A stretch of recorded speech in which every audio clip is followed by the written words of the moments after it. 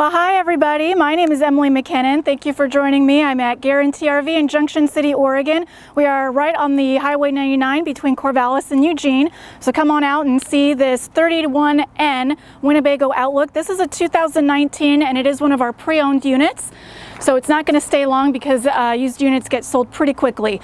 What I like about this uh, Winnebago, the Outlook, is that they have these long stretch arms for the mirrors. That way you can look all the way down the side of your coach when you are driving. It gives you a good range of, uh, of sight. Also, what I love about Class C's in general is that both passenger and uh, driver have their own doors, so you don't necessarily have to crawl out and go from the uh, main exit door here. We are on a Ford 450 engine. This is going to be a V10 Triton motor. This Outlook, the 31N, is possibly one of my favorite um, floor plans just because you have so many seating options, sleeping options, uh, tons of counter space, tons of room when the slides are out, but also notice that these are not very deep slides. So even when the slides are in, you've got a ton of room to make it to the restroom if you need to. Um, if somebody needs to take a nap, if you're on a long haul trip, uh, you can sleep in the bed back there. You can have full access to it. So here in the couch area, you can fold this couch down. It folds into a bed. You've got nice cup holders here in the back. Nice big beautiful window. Lots of storage up top. Then you come over here and what's going to make this a Class C, of course, is this wonderful little bunk up above the cab. Uh, you've got some windows to look out on. You also have your television there. That is on a swing arm, so you can, and it's adjustable, so you can kind of swing it out and adjust it, um, so it's better for viewing when you're here in the main living area. Uh, these are right up here. What If you're wondering what these are, these are going to be for privacy when you're parked. Uh, you can put them on your windshield and then on your um, side windows so that nobody can see in. And you have that privacy when you're parked camping. Okay, uh, again, we've got a nice little booth dinette. Big, beautiful window. I'll open this up here and you can see just really how big that window is.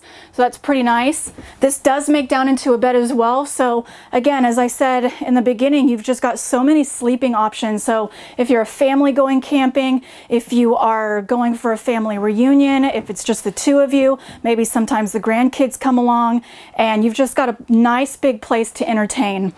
Huge kitchen counter, nice double sink, and it's a fairly deep sink tons of storage all throughout the kitchen. You've got your light here, light here, so plenty of light. Lots of drawer storage as well.